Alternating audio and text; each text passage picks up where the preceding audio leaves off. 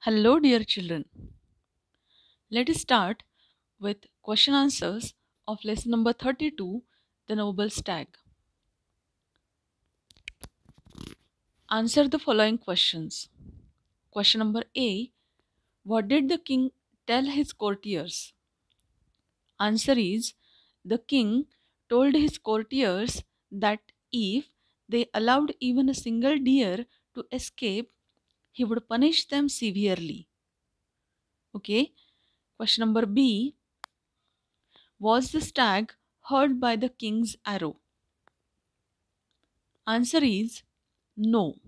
The stag was not hurt by the king's arrow. Question number C How did the stag escape?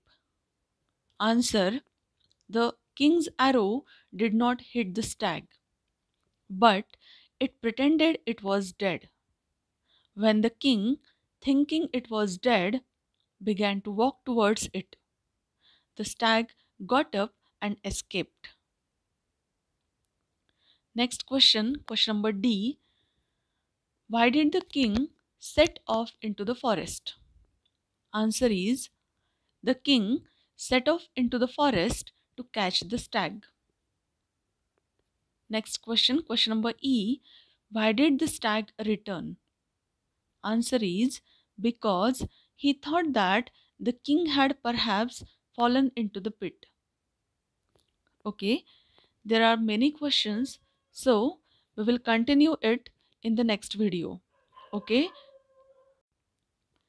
till then, you have to write these question and answers in your English copy in a neat and clean handwriting.